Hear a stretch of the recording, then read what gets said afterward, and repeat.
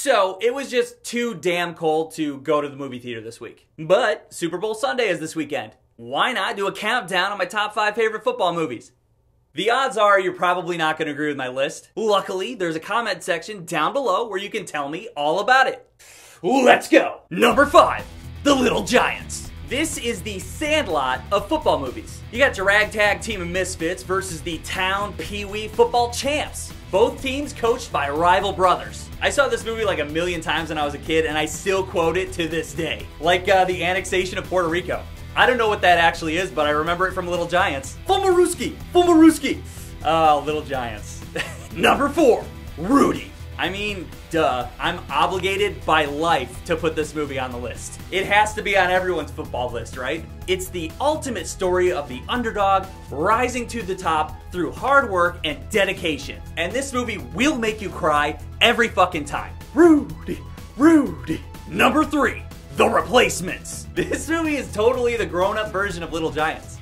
Yeah, it's such a fun concept. You got these rich football players going on strike to get more money. The show must go on, so they bring in replacements. And they get this ragtag team of misfits together to finish out the season. This movie's just full of quality comedy, and my boy Keanu Reeves is a quarterback. I mean, come on, how do you not love this movie? Number two, Varsity Blues. I don't want your life. this movie has a great perspective on the pressure to be the best football team, while also living the life of a teenager in high school. James Van Der Beek kills it. Jon Voight kills it. Terrible Jon Voight. This movie just does a great job at bringing together that coming of age story as well as champion football team story. James Van Der Beek's speech at the end is fucking awesome, and the soundtrack to this movie is undeniably amazing. I don't want your life.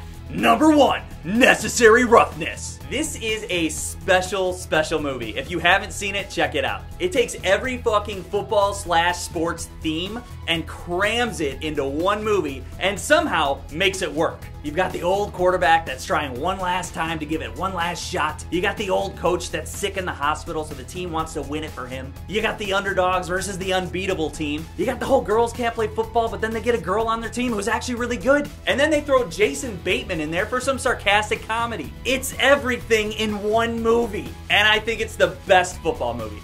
There you go. But what about Remember the Titans and Any Given Sunday? Hey, those probably would have made my top 10 list, but this is a top 5 list, and it's my top 5 list. Feel free to tell me yours in the comments below. Subscribe! Playing football at West Canaan may have been the opportunity of your lifetime, but I don't want your life. But I don't want your life. But I don't want your life. I don't want your life.